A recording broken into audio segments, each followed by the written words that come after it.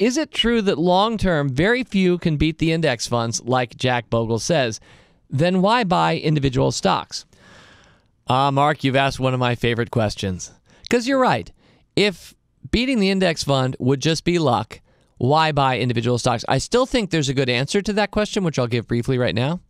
I think you learn a lot by investing in individual companies. I think you learn about the world. For me, I learn a lot more about our culture when I own Under Armour or Apple than if I just own some index fund that happens to have those companies and 100 others in it. So if you're anything from somebody who enjoys studying our culture, or maybe you're an entrepreneur, or you're trying to figure out how the world works, I think studying and investing in individual companies is just worth it on its own. But more importantly, and to your point and to your question, I don't think that it's just luck to beat the market over the long term.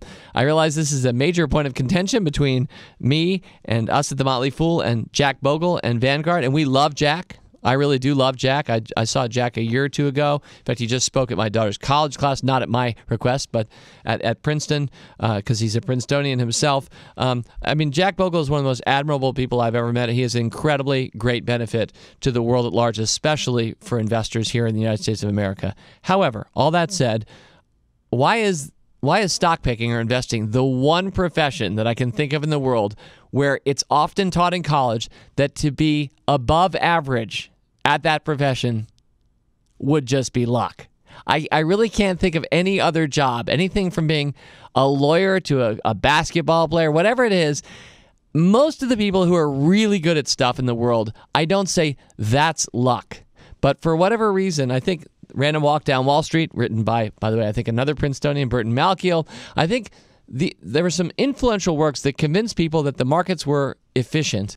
I will not have time to fully do this for mailbag. We have to get to others, so I'm not gonna. I'm gonna not go off on a rant here, but I'm telling you that the act of putting in effort to pick stocks in every context that I've done it over the course of my life, um, before we started the Motley Fool, um, in our original Motley Fool portfolio, um, Motley Fool Rule Breakers, Motley Fool Stock Advisor, my caps page where I have a separate portfolio. In all of those instances, I've beaten the market. It's not me bragging though. Let's go back to caps for a sec.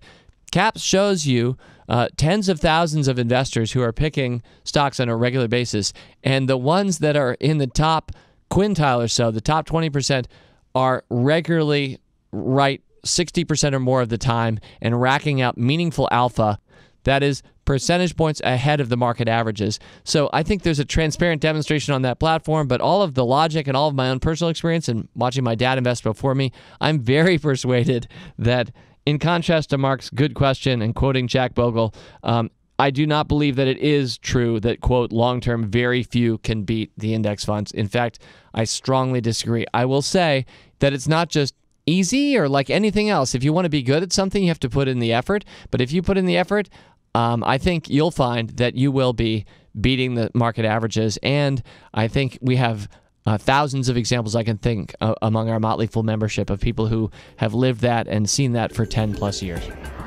As always, people on this program may have interest in the stocks they talk about, and the Motley Fool may have formal recommendations for or against. So don't buy or sell stocks based solely on what you hear. Learn more about rulebreaker investing at rbi.fool.com.